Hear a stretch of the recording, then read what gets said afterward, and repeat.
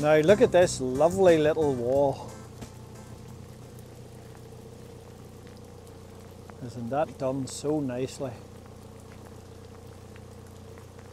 And it comes down over a rock here.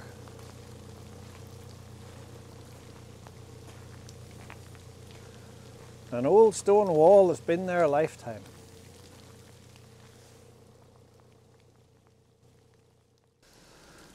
And there's the old well or spring with the steps down into it. Self sufficient.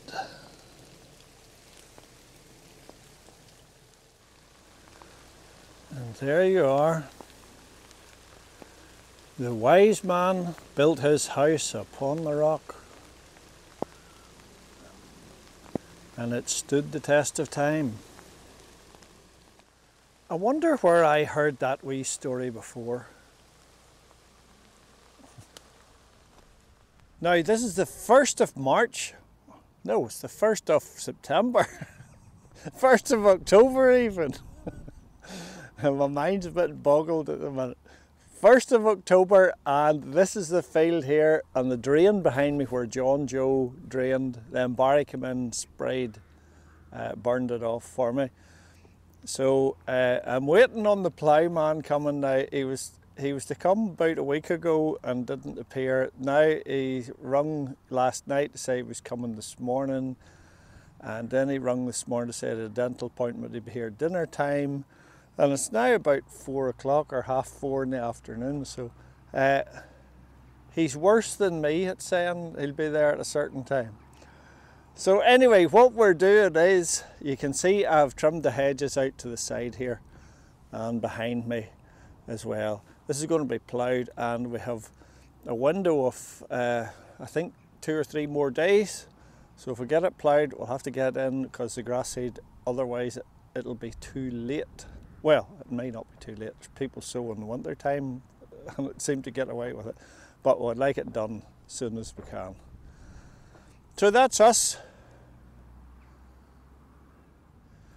Now, would you look at this? The ploughman is just actually arriving when I was giving out about him there.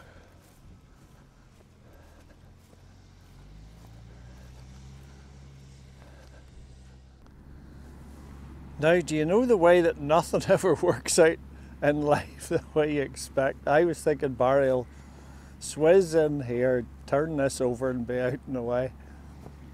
But with the mat of grass that's on here, uh, I was unable to mow it, top it.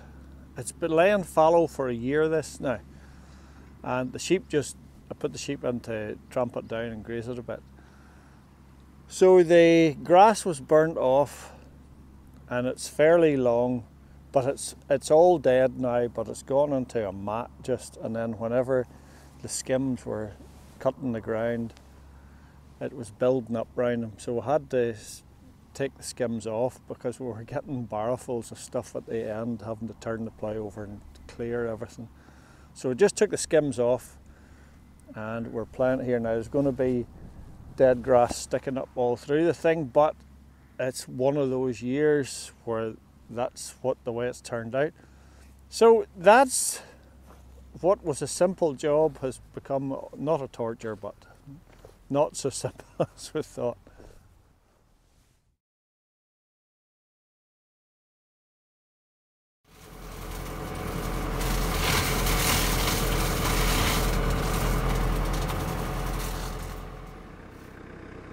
We have electric wire up here and the briars were growing out and hitting on it there so I have the machine's been down in the back there taking the first run.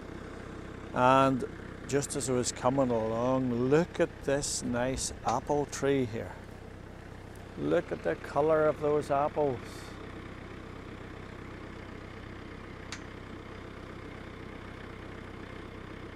Isn't that lovely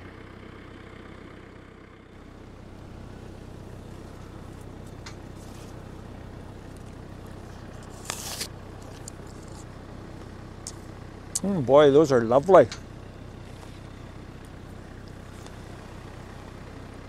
I'm going to have another one here.